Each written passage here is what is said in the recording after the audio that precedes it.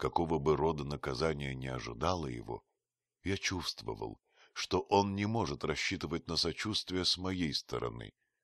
Шерлок Холмс и Джонс сидели, положив на колени руки. Они казались серьезно заинтересованными, но тоже выражение отвращения отражалось на их лицах. Должно быть, он заметил это, потому что в голосе и манерах его почувствовалось что-то вызывающее. — Без сомнения, все это было очень дурно, — сказал он. — Хотел бы я знать, многие ли на моем месте отказались бы от части этого клада, если бы знали, что за это им грозит опасность быть зарезанными. Потом вопрос состоял в том, кому оставаться в живых, мне или ему, если он уже попал в крепость. Если бы он вышел оттуда, все дело выплыло бы на свет Божий, и меня призвали бы к суду и, по всей вероятности, приговорили к расстрелу, потому что в то время люди не были очень снисходительны. — Продолжайте ваш рассказ, — коротко сказал Холмс. — Ну, мы внесли его в крепость, Абдулла, Акбар и я. И тяжел же он был, несмотря на небольшой рост. Магомед Синг остался сторожить дверь. Мы пронесли его к уже приготовленному месту. Оно было несколько в стороне, там, где извилистый коридор ведет к большой пустынной зале. Кирпичные стены, которые почти совсем обвалились. Земляной пол опустился в одном месте, образовав естественную могилу. Там мы и оставили купца Ахмета, прикрыв его обвалившимися кирпичами.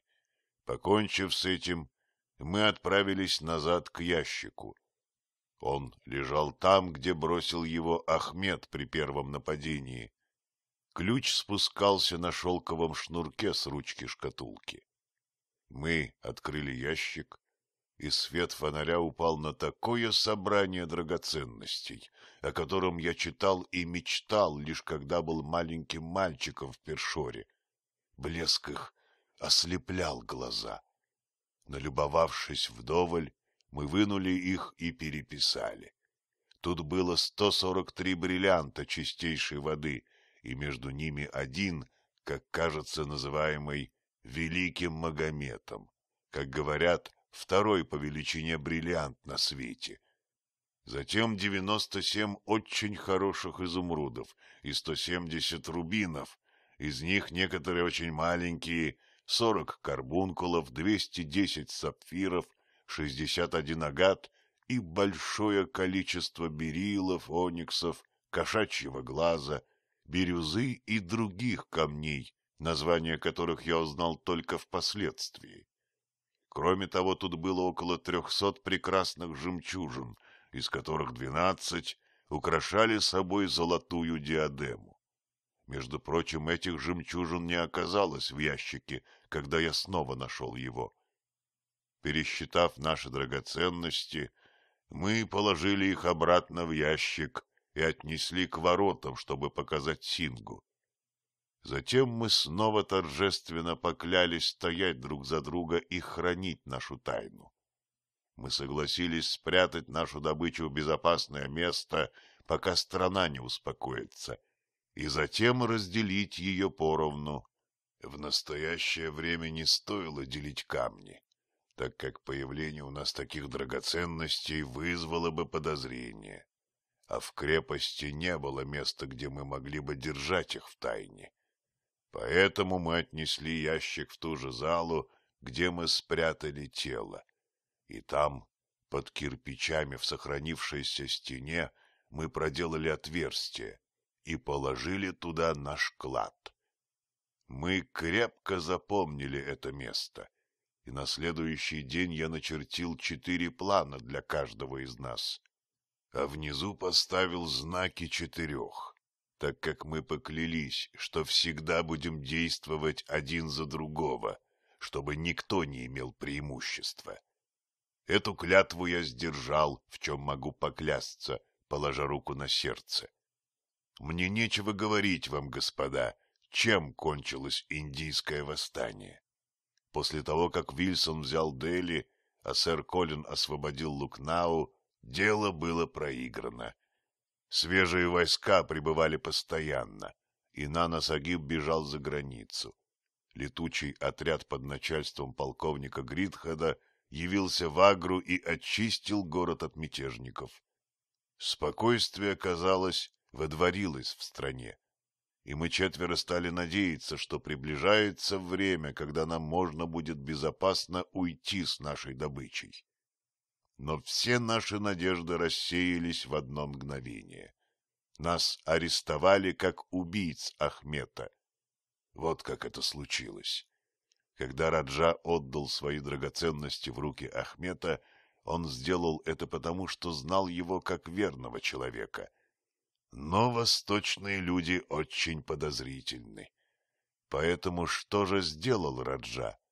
Он взял другого, еще более верного слугу, и заставил его шпионить за первым. Второму слуге было приказано никогда не выпускать Ахмета из виду, и он следил за купцом как тень. И в ту ночь он пошел за ним и видел, как он вошел в ворота. Конечно, он подумал, что Ахмед нашел приют в крепости и сам попросился туда на следующий день, но не нашел и следа Ахмета. Это показалось таким странным слуге, что он рассказал одному из сержантов, а тот довел это до сведения коменданта. Быстро сделали обыск и нашли труп. Таким образом, как раз в то время, когда мы считали себя в безопасности, мы все четверо были схвачены и привлечены к суду за убийство. Трое из нас обвинялись потому, что стояли на часах у ворот, а четвертый на том основании, что его видели в обществе убитого.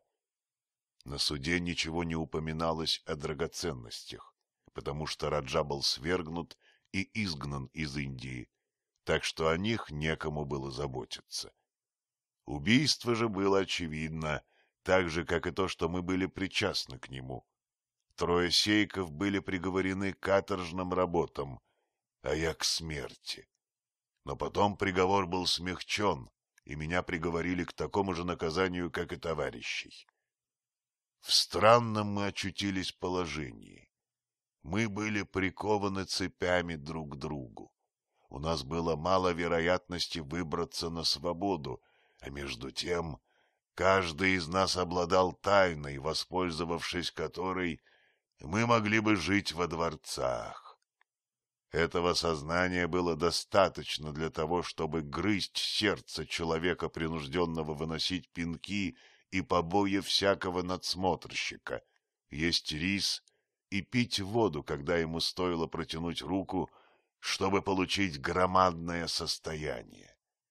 Было от чего сойти с ума, но я всегда был очень упрям и потому молчал и поджидал удобного времени. Наконец оно, казалось, наступило. Меня перевели из Агры в Мадрас, оттуда на остров Блэр, один из Андаманских островов. В этом поселке бывает мало белых сыльных, а так как я с самого начала хорошо вел себя, то скоро очутился в несколько привилегированном положении. Мне дали хижину в Хоптауне, маленьком местечке на склоне горы Гарриет, и я часто оставался один. Это была печальная местность, грозившая лихорадками и кишевшая за нашими просеками, дикими туземцами-людоедами, всегда готовыми бросить ядовитую стрелу. Приходилось копать землю и заниматься другими работами, так что дела хватало на целый день. Но по вечерам у нас бывало немного свободного времени.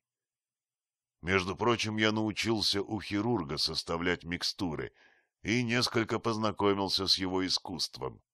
Все это время я искал удобного случая для бегства. Но место это лежит в тысячах миль от всякого другого, а ветры на море дуют или очень слабо, или их вовсе не бывает, так что выбраться оттуда очень трудно. Хирург доктор Сомертон был веселый молодой человек, спортсмен. Другие молодые офицеры собирались у него по вечерам и играли в карты. Комната, служившая аптекой, была рядом с гостиной доктора, куда выходило маленькое окно. Часто, чувствуя себя одиноким, я тушил лампу в комнате и, стоя там, слушал разговор офицеров и смотрел на их игру. Я сам люблю играть в карты, и наблюдать за ними было почти так же приятно, как играть.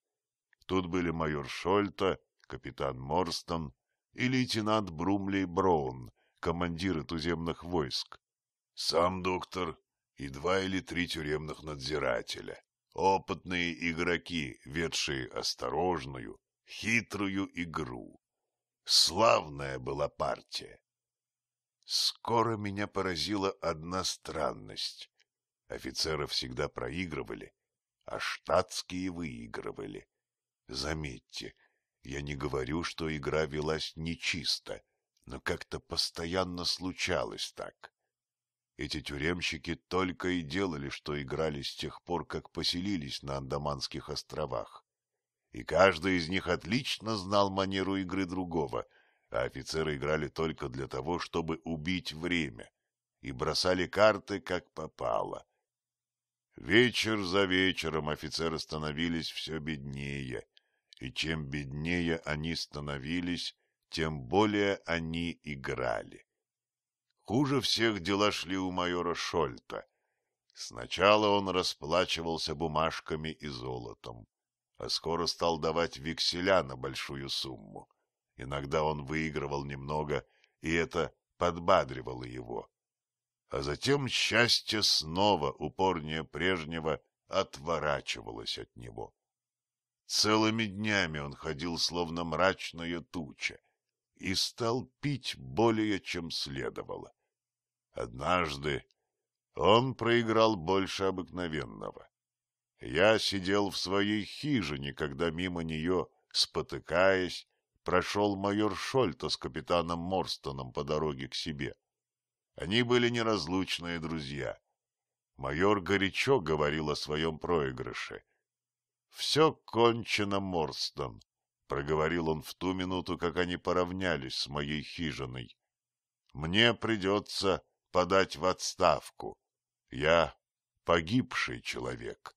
— Глупости, дружище, — ответил капитан, ударяя его по плечу. — И у меня дела плохи, но вот все, что я слышал.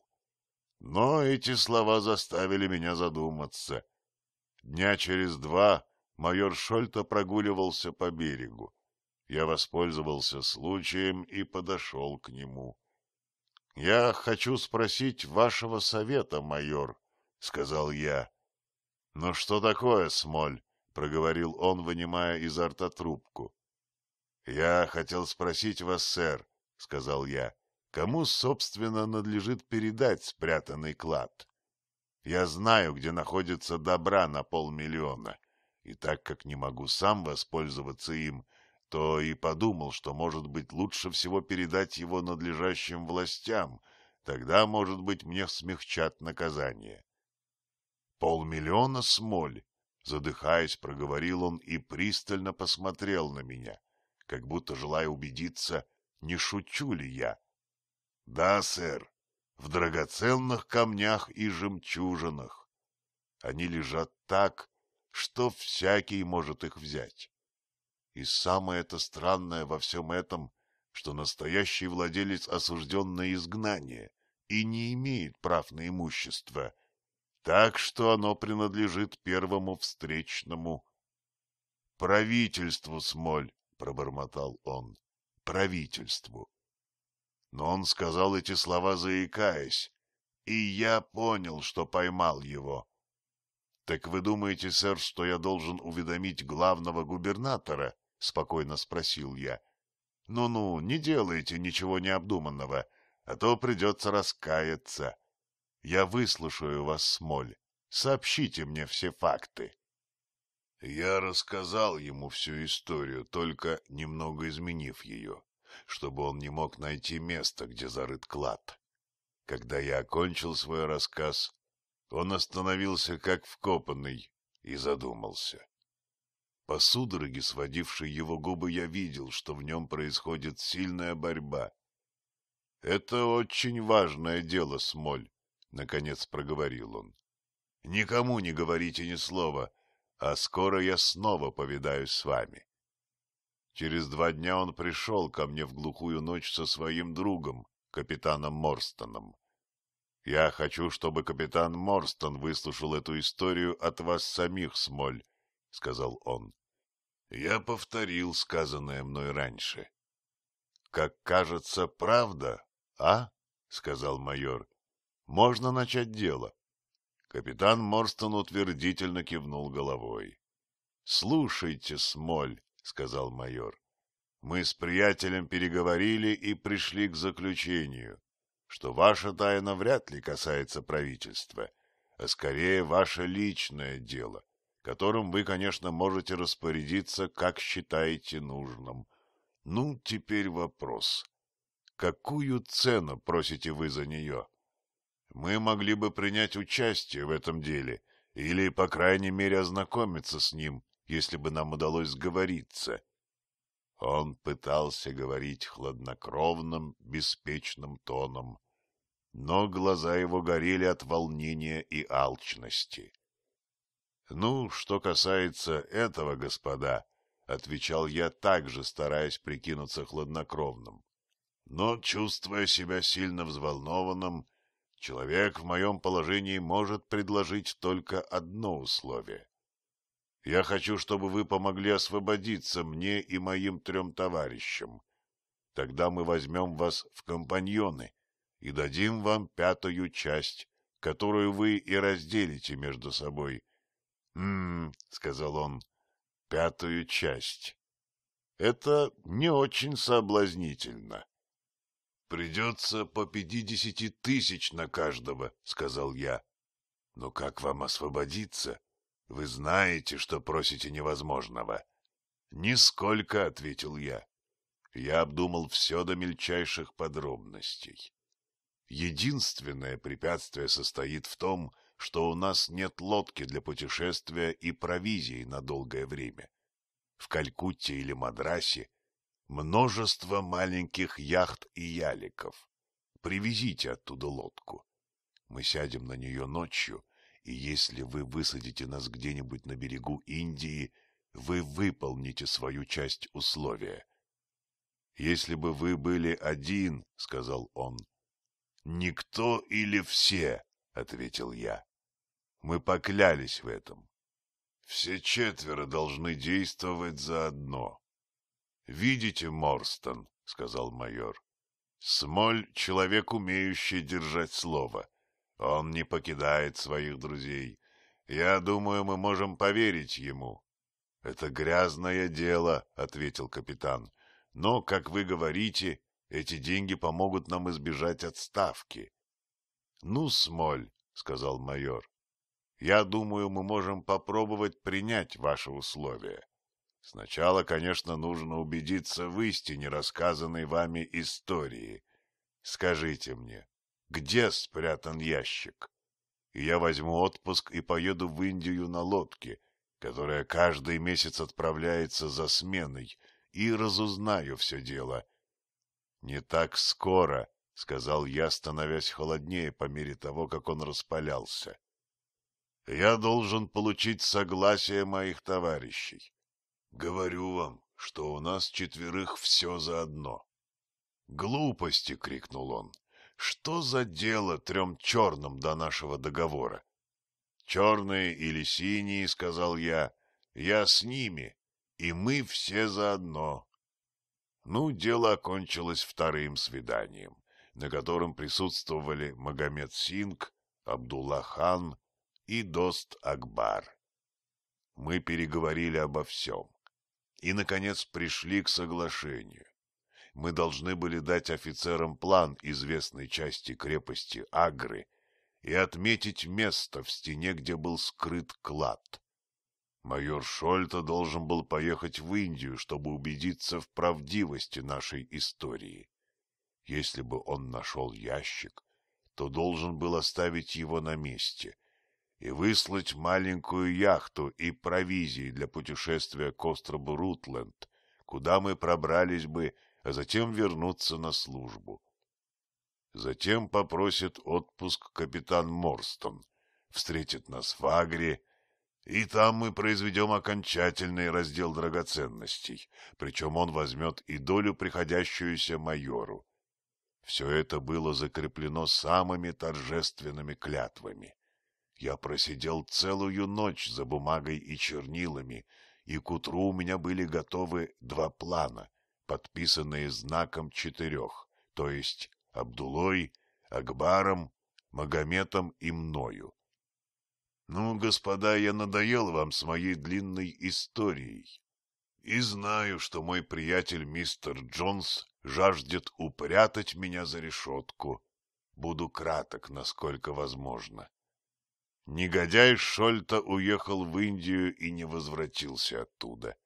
Капитан Морстон показал мне вскоре его фамилию в списке пассажиров одного из почтовых пароходов. У него умер дядя, оставивший ему состояние, и он вышел в отставку. Несмотря на это, он не побрезговал так обойтись с нами пятерыми. Морстон вскоре после того отправился в Агру, и, как мы и ожидали, увидел, что клад исчез. Подлец украл все, не выполнив ни одного из условий, ради которых мы открыли ему нашу тайну. С этого дня я жил только для мщения. Месть стала моей всепоглощающей страстью. Я не думал ни о законе, ни о виселице. Бежать, напасть на след Шольта, схватить его за горло было моей единственной мыслью. Даже клад потерял для меня свое значение перед желанием убить Шольто. Много я принимал решений в жизни, и не было ни одного, которого бы я не исполнил — но прошло много томительных лет, пока мне удалось исполнить это решение. Я уже говорил вам, что приобрел некоторые познания в медицине. Однажды, когда доктор Сомертон лежал в лихорадке, группа каторжников подняла в лесу маленького обитателя Андаманских островов. Он был при смерти и забрался в уединенное место, чтобы умереть там. Я стал ухаживать за ним, хотя он походил на ядовитую змею, и через два месяца вылечил его настолько, что он стал ходить. Он привязался ко мне и не хотел уйти в свои леса, а постоянно бродил вокруг моей хижины. Я выучился от него немного его наречию, и это еще более привязало его ко мне. Тонга, так его звали хорошо умел править лодкой, и у него была своя, собственная большая пирога. Когда я заметил, что он готов на все, чтобы услужить мне, я подумал о возможности бегства и переговорил с ним. Он должен был привести свою лодку к старой пристани, где не было часовых, и там взять меня. Я приказал ему взять несколько фляжек с водой, большое количество кокосовых орехов и бермудского картофеля. Он был храбр и верен, маленький Тонга. Никогда у человека не было более верного товарища. В назначенную ночь лодка его стояла у пристани. Но как раз там оказался один из тюремщиков, дряной человек, никогда не пропускавший случая унизить и выругать меня. Я давно поклялся отомстить ему, и теперь мне представился случай исполнить свою клятву. Судьба как будто нарочно поставила его на моем пути, чтобы я мог уплатить свой долг до отъезда. Он стоял на берегу, спиной ко мне, с карабином на плече. Я оглянулся, нет ли камня, чтобы размажить ему голову. Но камня не было. Тогда мне пришла в голову странная мысль. Я нашел удивительное оружие. Я присел в темноте и отвязал свою деревянную ногу.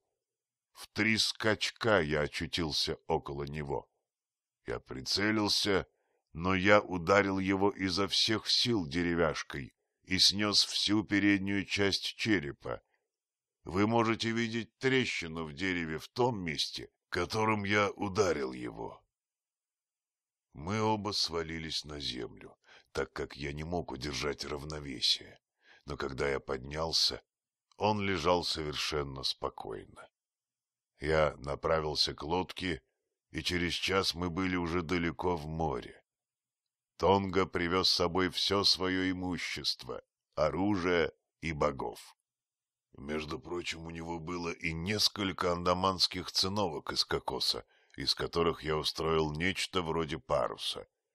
Десять дней мы носились по морю, надеясь на счастье, а на одиннадцатый нас взял купеческий корабль, шедший из Сингапура в Думда с малайскими пилигримами. Странная это была толпа. Тонга и я устроились между ними. У этих людей было одно очень хорошее качество. Они оставили нас в покое и ни о чем не расспрашивали. Если бы я стал вам рассказывать все наши приключения, вы не поблагодарили бы меня, так как я задержал бы вас до восхода солнца. Мы скитались по всему свету, но постоянно что-нибудь мешало нам попасть в Лондон. Однако все это время я не забывал моей цели. По ночам я видел Шольта. Сто раз я убивал его во сне. Наконец, года три или четыре тому назад мы очутились в Англии. Мне было нетрудно узнать место жительства Шольта, и тогда я стал узнавать, реализовал ли он свой клад или он все еще у него. Я познакомился с одним человеком, который мог помочь мне. Не называю имен, потому что не хочу никого подводить. И скоро узнал, что драгоценности находятся еще у майора. Потом я много раз пробовал пробраться к нему, но он был очень хитер и держал при себе всегда двух борцов, кроме сыновей и телохранителя. Но однажды я получил известие, что он умирает. Я поспешил в сад при его доме, вне себя от бешенства, что он уходит из моих рук. И, заглянув в окно, увидел его в постели, по краям которой стояли оба его сына. Я пробрался бы туда и сумел бы управиться со всеми тремя, но сразу заметил, как у него вдруг отвисла челюсть и понял, что он умер. Ночью я все-таки забрался в его комнату и перерыл бумаги в надежде найти указание о месте, где он спрятал свои сокровища. Однако об этом не оказалось ни строчки, и я ушел, страшно огорченным и взбешенным. Прежде чем покинуть комнату, я вспомнил, что если когда-либо мне придется встретиться с моими друзьями-сейками, им будет приятно узнать, что я оставил знак нашего мщения. Поэтому я нацарапал знак четырех, в том виде, каким он был на плане и приколол его к груди мертвеца. Было бы уж слишком, если бы его опустили в могилу без какого-нибудь знака от людей, которых он обобрал и провел. Все это время мы добывали себе пропитание, показывая бедного Тонгу на ярмарках и подобного рода местах, как черного каннибала. Он ел сырое мясо и танцевал военный танец и к концу вечера у нас набиралась целая шляпа медных монет. Я получал все новости из Панджашери, но несколько лет ничего не было слышно, за исключением того, что там продолжают искать клад. Наконец, произошло давно ожидаемое нами событие. Нашли клад. Он оказался на чердаке дома, где была химическая лаборатория мистера Бартоломея Шольта. Я сейчас же явился туда, чтобы взглянуть на место, но не знал, как взобраться с моей деревяшкой на крышу. Однако я узнал, что в крыше есть подъемная дверь, узнал также и час ужина мистера Шольта. Мне казалось, что Тонга легко может справиться с этим делом. Я привел его с собой и обвязал его длинной веревкой вокруг пояса. Тонга умел лазать, как кошка, и скоро спустился с крыши в комнату. Но на свое несчастье Бартоломей Шольта был еще там. Тонга думал, что, убив его, он поступит чрезвычайно умно. И потому, когда я поднялся вверх по веревке, то нашел его гордо расхаживающим, как павлин. Он очень удивился, когда я ударил его концом веревки и проклял его, назвав кровожадным чертенком. Я взял ящик с драгоценностями и спустил его вниз, а затем и сам спустился на землю, оставив на столе знак четырех, чтобы показать, что клад достался, наконец, тем, кому он принадлежит по праву. Тонга тогда втянул вверх веревку, запер окно и ушел тем же путем, каким пришел. Мне, кажется, нечего больше рассказывать вам. Я слышал, как один лодочник говорил о быстроте хода баркаса Смита «Аврора» и подумал, что он пригодится нам для бегства.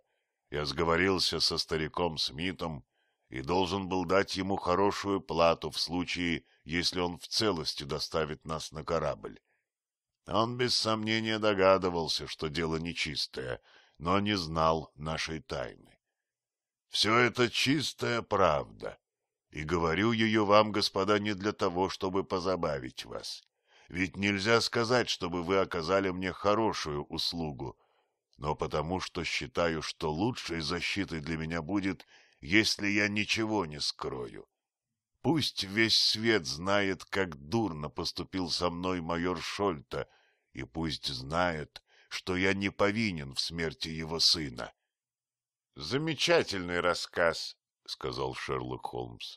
— Подходящее окончание чрезвычайно интересного дела. В последней части вашего рассказа нет ничего нового для меня, за исключением того, что вы принесли веревку. Этого я не знал. Между прочим, я надеялся, что Тонга потерял свои стрелы. Однако он бросил одну в нас, когда мы были на Баркасе. — Он потерял их все, сэр, за исключением одной, которая была у него в той трубке, из которой он ими стрелял. — Ах, конечно, — сказал Холмс. — Я и не подумал об этом. — Хотите ли вы задать мне еще вопросы? — любезно осведомился каторжник. — Кажется, нет. Благодарю вас, — ответил мой приятель. — Ну, Холмс, — сказал Этельни Джонс, — вы человек, которого следует ублажать, и все мы знаем, что вы знаток преступлений, но долг остается долгом и я зашел несколько дальше, исполнив желание вашего друга. Я буду чувствовать себя спокойно, когда наш рассказчик будет под замком. Кэп все еще ожидает нас внизу, а также и два инспектора. Очень обязан вам обоим за помощь. Спокойной ночи. — Спокойной ночи, господа, — сказал Джонатан Смоль. Вот и конец нашей маленькой драмы, заметил я после короткого молчания, во время которого мы продолжали курить наши трубки. Боюсь, что это мой последний опыт изучения вашего метода.